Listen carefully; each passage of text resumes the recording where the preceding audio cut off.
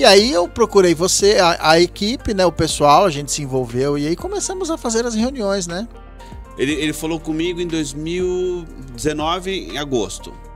Eu fui, a gente foi fazendo reuniões, tudo, mas é tal coisa, né? Quando ele chegou para mim e falou assim, ele falou, quanto você cobra para fazer o roteiro de um filme?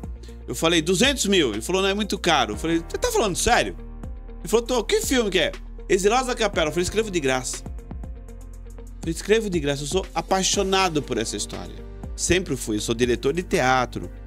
Eu escrevi duas peças de teatro falando sobre apocalipse, mudança climática. Então, há, muitos e muitos e muitos anos eu venho nessa história. A minha vida inteira. Acho que quando eu estava na barriga da minha mãe, quando eu saí, o médico ia me dar um tapa. Eu falei: opa, peraí, vamos conversar. Não é assim na agressão, não.